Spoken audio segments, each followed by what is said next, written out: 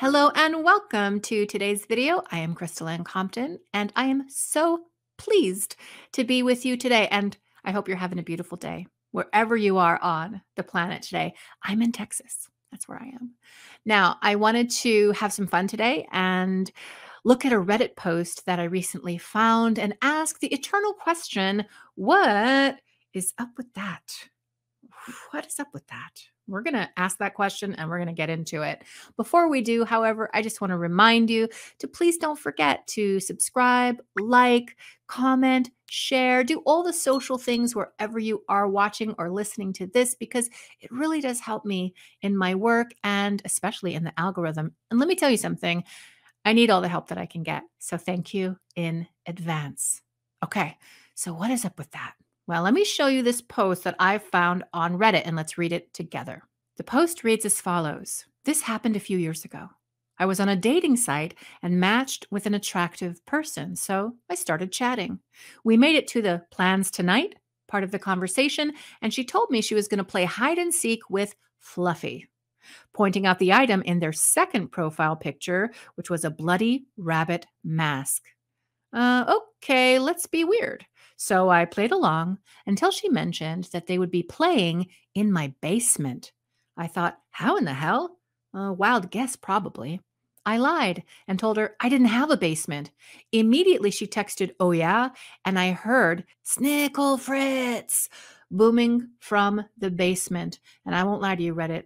I about myself.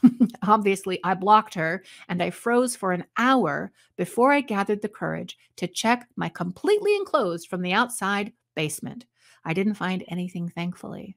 I didn't have a smart device at all, and I didn't have any speakers that could have been hacked. I didn't even have wireless internet at the time. The basement was completely empty. I cannot explain it in the slightest. Oh, indeed. What is up with that? Well, I have a couple of theories. Do you want to hear them? The first theory I have is that this person with the rabbit mask projected themselves into this person's space. And this is something actually called bilocation, which is well documented. Bilocation is when we send our energy to a specific space or place. And depending on how strong our energy is, and also how sensitive people are in the space we're projecting into, those people there can actually see us. So, this person with the bloody rabbit mask could have sent her energy. She could have been very strong in that way. And maybe, maybe she was into the intuitive arts, the magical arts, and she just thought that would be something funny to do. It's not unheard of, and I can see it happening. Now, the second thing that might have happened is this person, upon hearing that this person was going to play in his basement, actually caused the phenomenon to happen himself.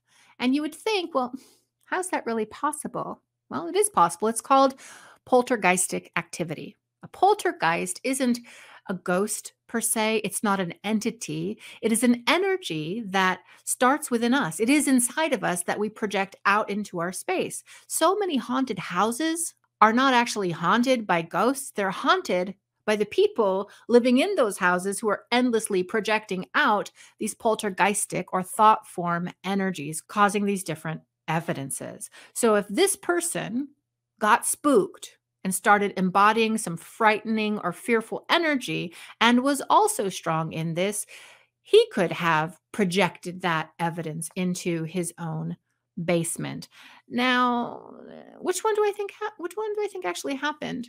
I think it's probably more likely that this bloody rabbit mask person was the one who bilocated. Kind of feels to me like a bit of a setup. Having that picture on her dating profile is probably an indication that she kind of wants to put it out there that she's into some strange things and maybe she's looking for people to toy with. And the whole tone of that conversation sounds like this person is actually toying with him. So I believe she probably bilocated. And I also believe it happened and he heard it and that it's entirely possible. But that's just my opinion. What's up with that? What do you think? Have you ever had a situation where somebody sent you something through the cords? Oh, don't get me started. So many things have traveled to me through the cords from ex boyfriends who had strong and wonky energy and would send creepy entities into my bedroom to friends who would travel through the cords and visit me at night and say hello to me via bilocations. So, what about you? Have you ever had an interesting experience like that? If so, and even if not so, drop down into the comments section, share, or let me know what you think about this Snickle Fritz. What is up with that? All I know is it's very creepy. All right, everybody, thank you so much for hanging out with me in this video. And until next time, never forget that I have got nothing but love for you. Bye, guys.